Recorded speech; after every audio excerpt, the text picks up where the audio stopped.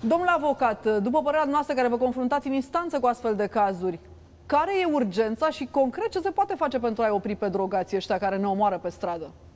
Sunt două probleme fundamentale. Ceea ce trebuia făcut până acum și trebuie făcut cu rapiditate, adică un program educațional concret, în școli chiar, în așa fel încât să se perceapă cu claritate pericolul drogurilor și categoric pericolul alcoolului.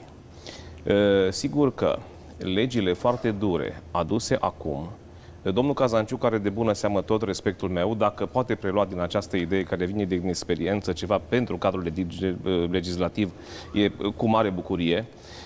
Ce se întâmplă? Dacă veți merge în centru vechi, veți fi avertizată să nu vă lăsați băutura descoperită să plecați de lângă ea. Ori treaba aceasta se știe. Dacă mergi la un meci de fotbal, la pe arena națională, nu găsești un sandwich, dar găsești droguri.